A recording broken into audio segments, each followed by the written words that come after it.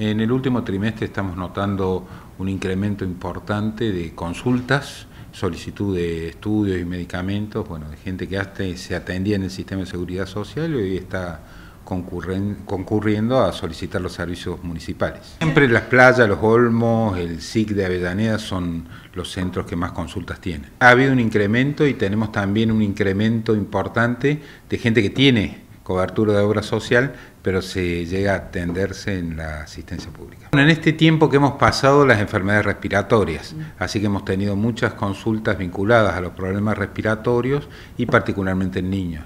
El municipio está haciendo un gran esfuerzo para que no haya falta de medicamentos y tratar de cubrir todas las necesidades.